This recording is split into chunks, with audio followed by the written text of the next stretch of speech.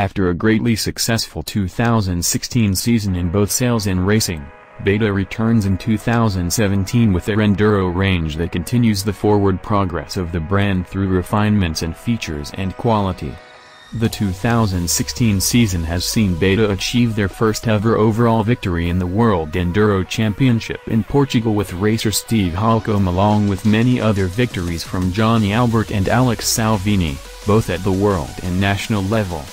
Beta USA continues to push the racing scene with their factory team effort in National Enduro, GNCC, EnduroX, Hare and Hound, as well as National Trial. Beta takes the information they have learned from their race teams as well as information from the everyday casual rider and combine the two to further enhance the riding experience.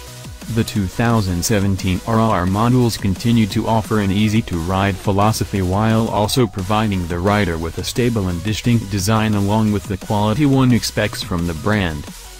The 2017 models, available in 2-stroke 250 and 300cc and 350-390-430-500cc, for 4-stroke, are a direct evolution of the 2016 version and retain their most successful features.